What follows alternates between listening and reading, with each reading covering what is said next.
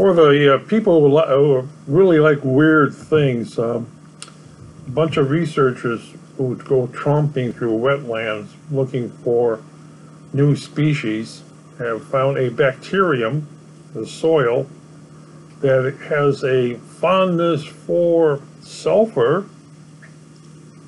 and um, methane. It gulps down methane. They, they, they've seen it where they, they found this bacteria in, in, in, puddles. Uh, you know, like hot springs, you know, hot springs, you get all the strange little uh, things growing in hot springs. Well, they, they found this on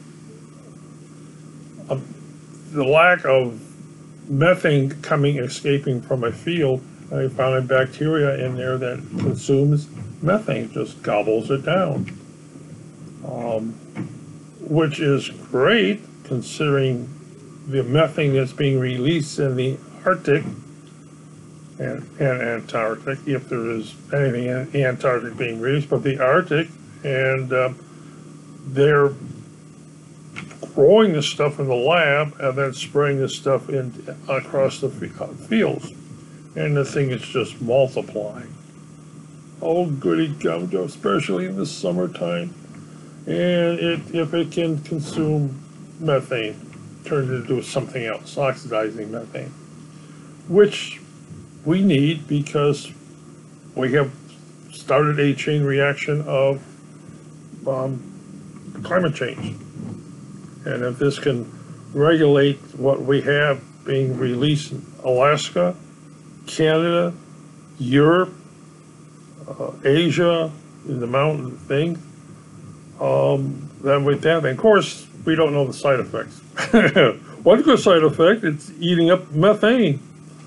We can always put bacteria around uh, our gas wells, which would help regulate, the- I'm quite sure somebody's gonna package it and sell it and say to the oil companies, say, hey, get rid of your methane this way. What's the, uh, what's the byproduct? Don't know. But it does eat methane. So. Hmm. Hey, I wonder if we could use it for sewage plant, plants.